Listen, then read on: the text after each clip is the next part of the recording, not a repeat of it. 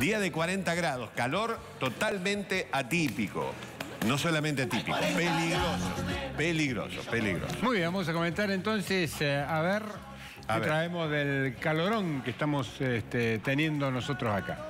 Vamos a comenzar explicando que nuestro cuerpo, el, ser humano es homeotermo. Sí. ¿Qué quiere decir? Que mantiene una temperatura constante. Constante. A diferencia de los poikilotermos, que son sus parientes, Claro. los lagartos, que eh, toman la temperatura de afuera. Claro. Entonces, por eso están al sol, arriba de las piedras, buscando caleta. Nosotros no. Nosotros tenemos que mantener aproximadamente 36,6 en nuestro cuerpo. ¿Qué ocurre en invierno? El cuerpo necesita mantener esa temperatura para mantener obviamente sus Claro. funciones vitales.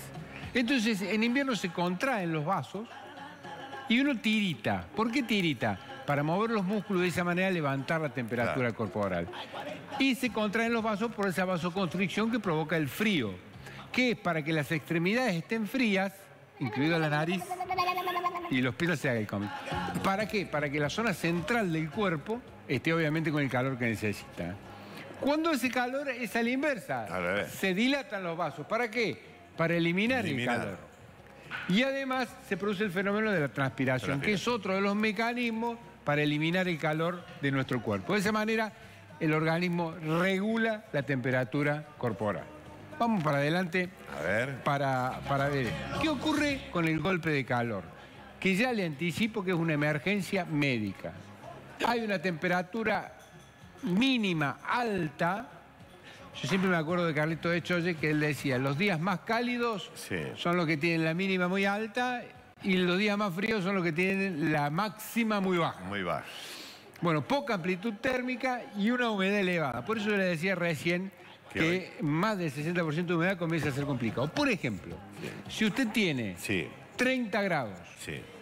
con 90% de humedad, es como si tuviera 40 grados. Mira. Esto de la sensación térmica. sí, sí, sí. Y eso obviamente que es mucho más peligroso.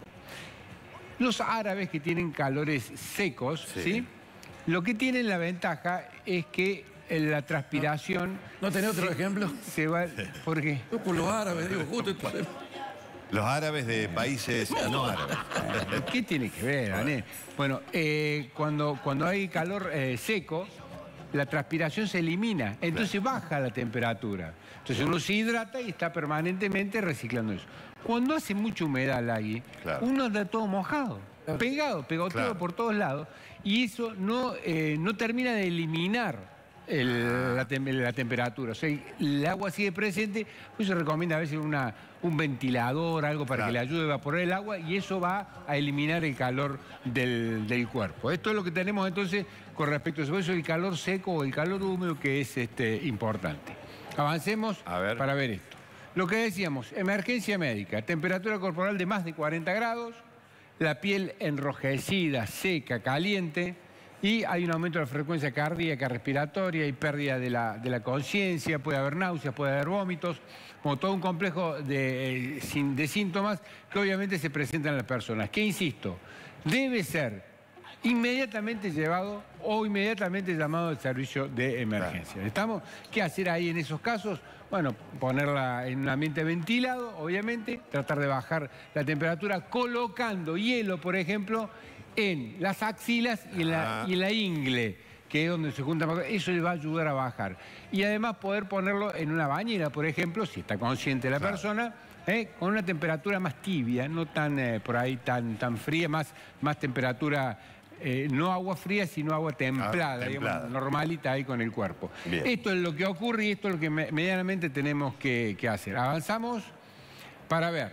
Bueno, la de siempre. Ropa clara, usar las gorras, los anteojos y los ambientes aireados. Esto que parece una perogrullada y que siempre sí, lo estamos sí. diciendo, no se tiene en cuenta. ¿Sí? Por ejemplo, Daniel ahora está con una camisa azul. No, no dice camisa azul, Daniel.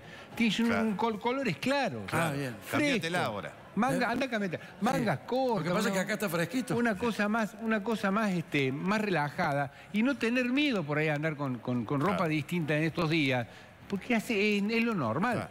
En Bermudas, andan Sí, sí. en Bermudas. Claro. ¿Y por qué? Porque hace calor. Claro. Bueno, habría que, habría que tomar esa- esas decisiones.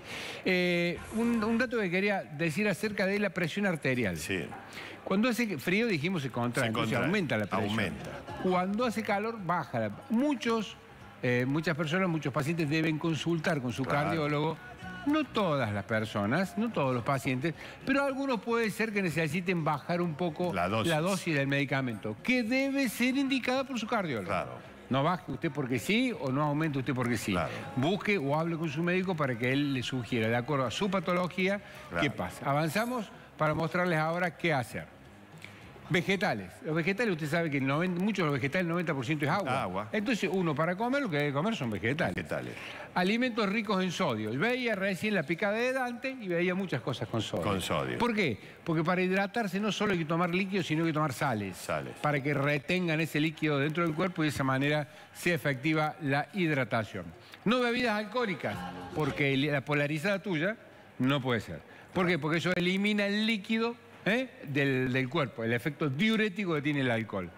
No bebidas azucaradas, por lo que decíamos. Si yo como, tomo azúcar, el, las bebidas azucaradas van a necesitar que el cuerpo le envíe agua al aparato digestivo para diluirlas y de esa manera absorberlas. En definitiva, uno toma ese líquido y lo deshidrata. Claro. En lugar de hidratarse, se deshidrata Sí, sí. Con, la, con la gaseosa, por ejemplo. Y no esperar a tener sed, sobre todo en las personas de los extremos de la vida, en los más chiquitos y los, Y en los más, grandes, grandes. que puede llegar con un mecanismo tardío la aparición de la sed. Y lo último que quiero decirles es, si usted Ah, esto para Claro, caserito. Este es el casero que usted tiene que utilizar en estos días y tiene que tomar permanentemente. Por cada litro de agua, un gramo de sal. ¿Se acuerda cuánto era un gramo de sal? El, en el blister del, por ejemplo, de la aspirina, ese uno, una aspirina equivale a un gramo. Exactamente. Entonces usted puede claramente calcular por cada litro de sal eso y el jugo de limón. Acá voy a tener sodio y acá voy a tener potasio. Claro. Por lo tanto voy a reponer, además de, de agua, voy a reponer los líquidos.